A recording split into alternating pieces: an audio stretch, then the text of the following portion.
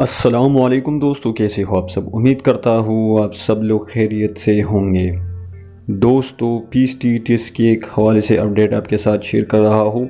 دوستو پیس ٹی ٹیس کا جو کیس ہے، ان ٹی ایس نے پیس ٹی ٹیس کینسلیشن کے بارے میں ہائی کورٹ میں جو دائر کیا تھا، ان کی پہلی سماعت پچیس جون کو ہونی تھی۔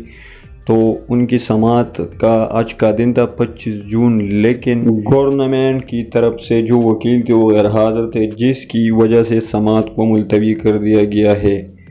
کسی اور ذرائع سے یہ خبر ملی ہے کہ حکومت نے کسی اور کے ذریعے اپنے کمنٹس کورٹ میں جمع کیے۔ یہ اپڈیٹ بھی سامنے آئی ہے۔